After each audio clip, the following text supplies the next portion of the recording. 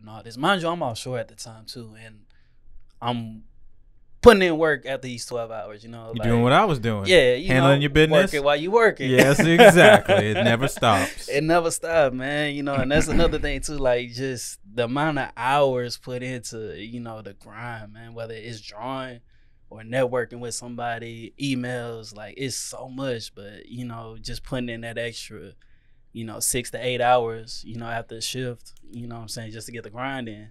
So, like I said, uh, we are planning for this event coming up, man. And right before I was getting ready to come on, mind you, investing in so much, getting ready for this show, man.